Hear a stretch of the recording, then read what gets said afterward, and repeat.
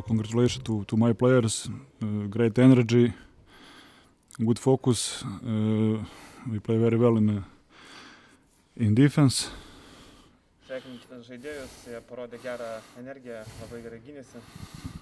Uh, we control their uh, best uh, scorer, shooter, and uh, in offense uh, we play we play smart enough.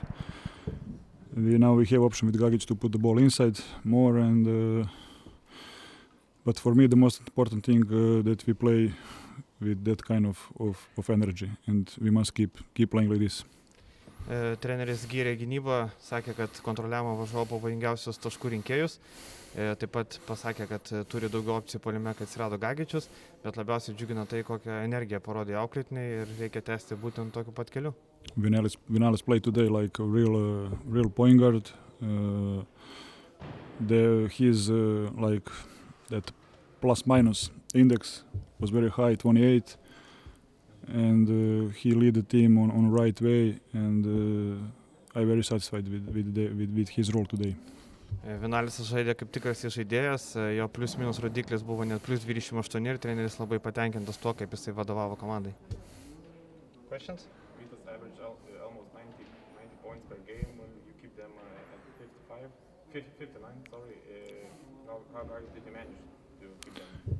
But like I said, uh, of course, uh, it's obviously that uh, Ritas uh, had problem with uh, with injury players, with uh, some players uh, go through uh, from uh, virus.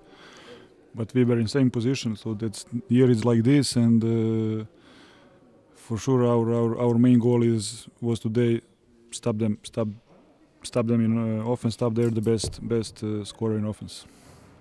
Klausimas buvo, kaip pavyko sustabdyti ryto polimą.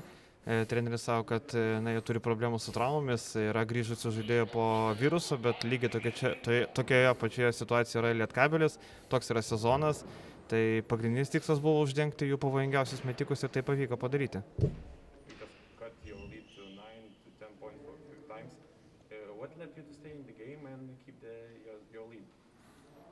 Uh, first of all, in that moment, uh, we stop playing defense. We stop use uh, bonus fouls, and uh, in offense, we just play to, to, to waste time. And uh, when we start playing uh, to put the ball inside two three times uh, to our big guys, and uh, when we don't lose uh, one on one one on one duel on on perimeter, it's it's gonna be again like easier game for us.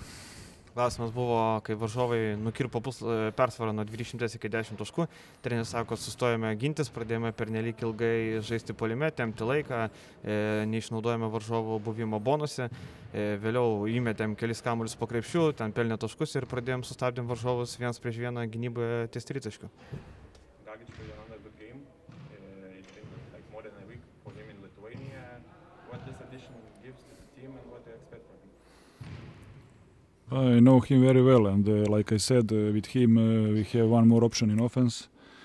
Uh, it's always easier when uh, you cannot score that you have the guy who whom, whom you can pass the ball inside.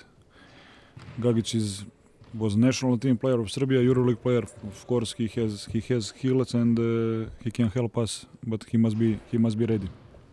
Klausimas buvo apie Gagičių, treneris sako, kad e, jis įnešė dar vieną opciją polime, kai labai gerai, kai galėjo paduoti kamalį po krepšiu.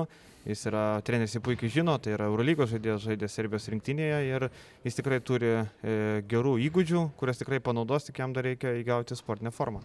Trenerių polime pelnėt 59 taškus. Turbūt ne tik prastas polimas buvo pralaimėjimo priežas- priežastis. Polimas prastas dėl to, kad e, buvome lėti. E, Atrodė, kad trūksta kvapo ir aš kai, kurios, kai kuriais momentais tą suprantu dėl tam tikrų priežasčių, bet e, taip pat ir pataikymas buvo labai prastas. Manau, kad turėjome kažkiek tai gerų metimų ir jiems nesukritus skirtumas e, tablo yra didesnis negu turėtų būti.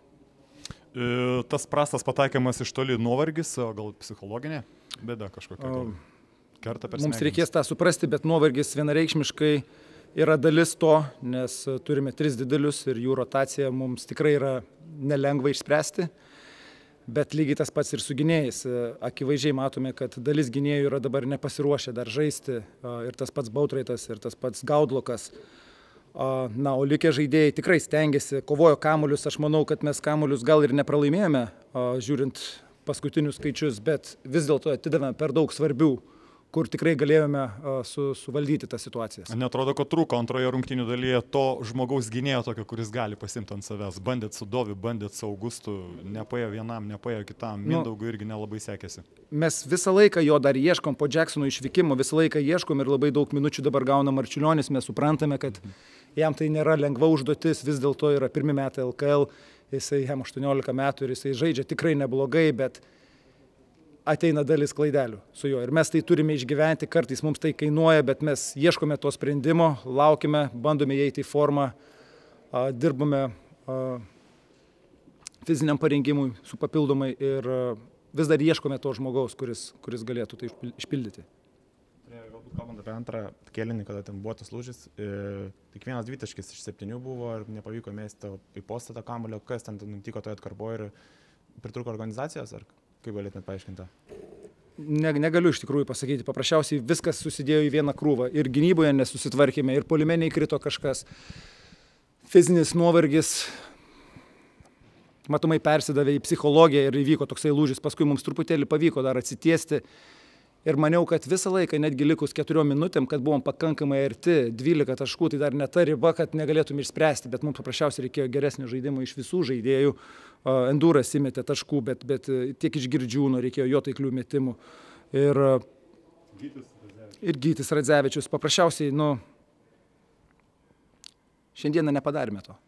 Antradienį rungtynį pasijungė dar du gynėjai, Gaudlukas, Bautraitas, kiek buvo galbūt to nerimo, kaip jie atrodys visa komanda ir kaip tas vaizdas, nežinau, jums, jūs akise atrodo. Matote, aš, aš juos matau treniruotėje, tai aš daug maž galiu nuspėti, kaip, kaip bus, bet vis tiek juos reikia įvedinėti vis tiek reikia juos ruošti sekančiom kovom, negaliu jų visiškai nežaisti, bet uh, uh, akivaizdžiai matosi, kad uh, nėra tų greičių, kurie yra reikalingi šio, šios dienos krepšiniui. Gal Lukas antroji pusė, berot visiškai nebežaidė, jam kažkas atsitiko, ar tiesiog nu, jis dar negali? Nu, jisai negali dar šimtų procentų išpildyti tai, ko, ko reikia, tada nusprendžiau daug toliau nerizikuoti, pažaidė tiek, kiek pažaidė ir bandysime įvedinėti jį toliau dar po antradienį rungtynių, grįžtant antradienį, minėt, kad kilsite į viršų, kalbėti su vadovybė dėl to naujoko, ar kokių turit naujienų, kaip tas pokalbis praėjo su vadovybė? E, neturiu naujienų. O gavot bent jau kažkokį patvirtinimą, kad bus ir kad bus galima pasipildyti? E, kol kas negaliu atsakyti tą klausimą.